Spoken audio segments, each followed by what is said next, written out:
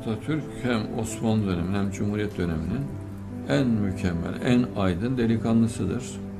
Çok aklı başında bir Osmanlı subayıdır. Çok dindardır Atatürk. Allah'a, dine, peygambere hayrandır. Açık açık da ifade etmiştir. Allah'ın dini tam uygulansın, peygamberin sözleri tam uygulansın. Yani Kur'an'ı kastediyor. Tam uygulansın diyen, cebinden Kur'an'ı hiç eksik etmeyen bir insan. Hangi lider sürekli Kur'an cebinde taşıyor? Ben Cumhuriyet dönemi hiç görmedim. Bir tek Atatürk'te vardır. Anıtkabir'de durur o.